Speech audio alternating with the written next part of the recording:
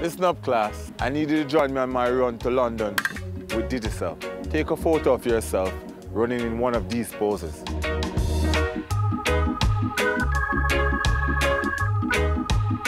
To find out more, visit the Digicel Facebook page.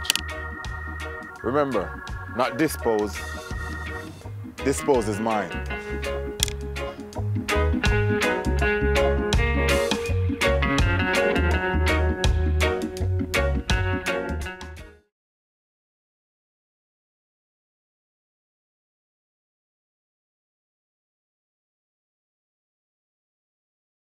Good morning, Irish Town. Good morning. Okay, I'm here as well as my friends because last year, WINN FM 98.9, how many of you are familiar with the radio station? Oh, we have a big fan base at Irish Town. I like that. I like that. I must tell the, the manager. Okay, we had a competition last year. We have it every year actually. It's called the WINN FM Christmas Short Story Competition. It's very unique because there are not many local competitions that put an emphasis on writing. But because we're a radio station, we understand how important reading and writing are to children. And so we have this competition every year. We open it up to children. It used to be from grades from ages 8 to 11. And we used to have a winner and runners up. But after a meeting with principals of the primary schools, we made some changes. So instead of grades ages 8 to 11, it changed to grades 4, 5, and 6. And what we said we would do is remove runners-up altogether. So last year we had three winners. We didn't have a runner-up, uh, two runners-up and a winner. We had three winners. There was a winner from grade 4, a winner from grade 5, and a winner from grade 6. So, do you know why I'm here? I'm here because there's a winner from the Irish Town Primary School. We had several entries from the Irish Town Primary School and we are really, really appreciative of the school's effort in participating because around that time the schools have a lot going on and some schools weren't able to participate. So we really, really were happy that we got entries from the Irish Town Primary School. And so much so that one of you, the students from this school won and her name is Melissa Coote from grade 6. She is the grade 6 winner. So Melissa, I need you to come forward for me, please.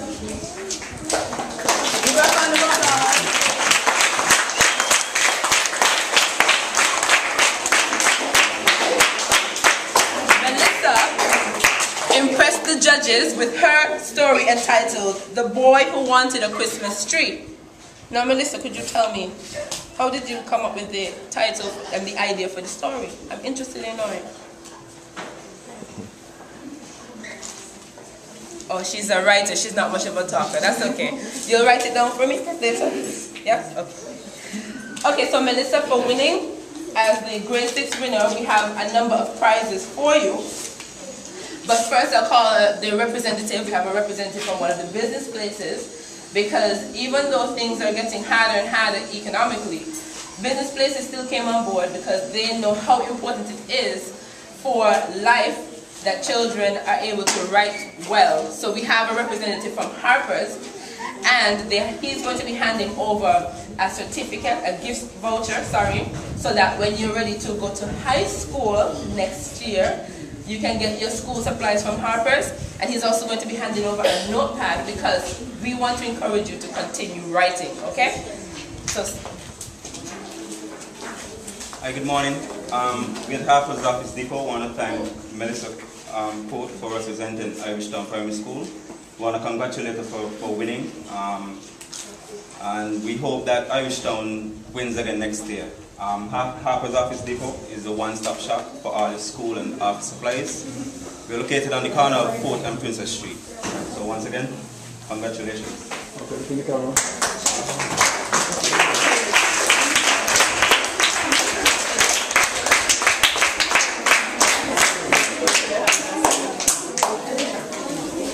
Thank you so much.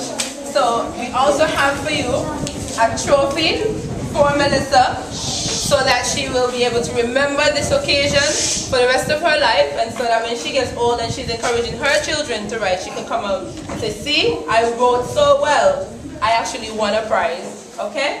This was donated by Warner's One Stop. Warner's comes on board every year to assist us with the trophies and the plaques for the school. Digicel also came on board, and in this little bag, this Digicel bag, is an Alcatel One Touch phone, Melissa, a Digicel cap, as well as a couple of other gifts for you. Okay? Nice. Also, they're encouraging you to smile with this Also, there's a, an educational store called StatsMat. It's located on Cayon Street. It's next to the police station. And they are giving you an educational CD. It's a software that will help you with your schoolwork for high school and they're also giving you this Twister game because everybody knows Twister is just so much fun. And you can't be all time in your books, right? You have to have some fun sometimes, right? Right. Additionally, Melissa, there is a Snackit located on Cayon Street as well. And the Snackit usually serves lunch to school children and they believe that school children really need to focus on the work and those who do should be rewarded. So in this envelope is $100 from Cassiana Snackit located on Cayon Street. And for the school, for Mrs. Body, we have this rotational plaque that will stay at the Irish Town Primary School for the entire year until next the next competition. It says WINN FM 98.9 Christmas Short Story Competition, Grade 6 winner. And on the first plate, it has Melissa Coote, Irish Town Primary School 2011. So anybody who comes here knows that Irish Town Primary is the winner. So Mrs. Body,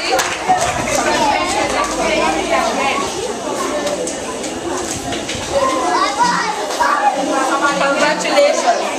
Additionally, we we weren't able to get everybody something, but what we do sometimes is because we get so many entries, we want to encourage other children to keep writing. And the judges this year were able to highlight some other children who did well as also. So we call them special mentions where the, the essay, the story was really, really good, but they weren't able to you know, place.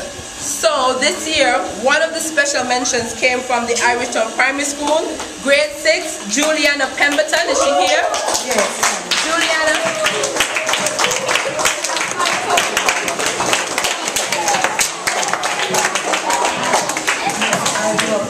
She wrote us a Christmas story, a lovely Christmas dinner, and we just want to encourage Melissa to continue Juliana. the Juliana, sorry, to continue the good work. You impress the judges.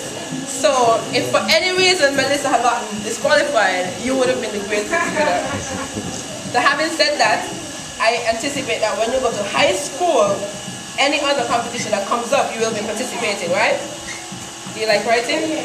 Yeah? Okay, thank you so much. Your principal has given me a suggestion uh, because we didn't have prizes for the the special mention, so you should be getting something from WinnFM shortly. Okay? Alright. So, having said that, I want to thank you guys so much for your attention. Thank you for allowing us this time during your assembly. I hope you enjoy your holidays. And I want to say congratulations to all the houses because I understand your, your sports has come to an end. Yes, and we're having house parties. House today. parties today, so should I stay for some, some of the treats? Yes? You guys are just awesome. You guys are awesome. Who's the winning house? Red? Congratulations. But what happened to green? Oh, the score's their winner. Okay, okay.